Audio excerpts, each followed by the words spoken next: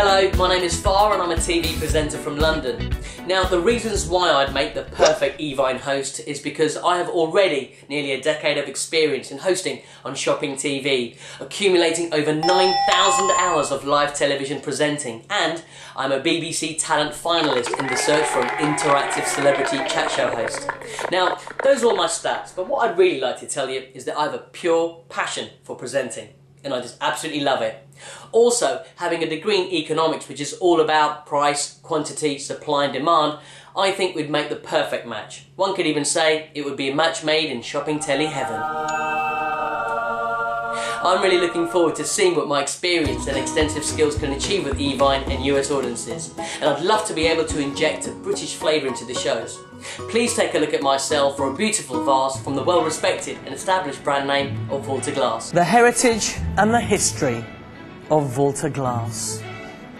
Walther Glass, a family-run business that stemmed from Germany in the 19th century, the latter part of the 19th century, to be exact. Walther Glass was a pioneer. Well, I say Walther Glass.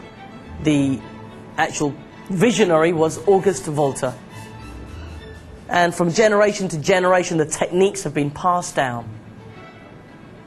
This has all the hallmarks of a Walther glass piece. The injection of colour into the glass, the frosted feel of the leaves, that beautiful texture and tone, the weight, the depth of the glass as well, the thickness, the strength, the quality. All the hallmarks are here. This is a piece to appreciate, to admire, to embrace. And it is the rather beautifully entitled Natasha. Isn't that lovely? This is the Walther Glass Natasha vase. Famous German glassmakers.